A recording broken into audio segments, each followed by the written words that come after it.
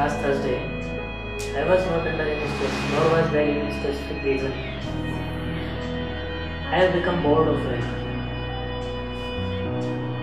That same noise, voices, home, office, office, home, home, office, mortuary, prostitutes, pimps, corpses. Washing the blood stains of the clothes every day.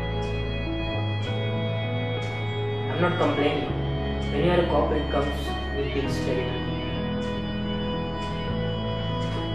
I have this weird feeling inside me, completely weird.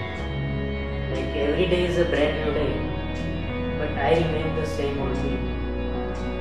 The world is same as before, and it's passing by me every day.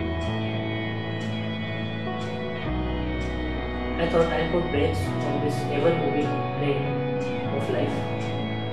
and get.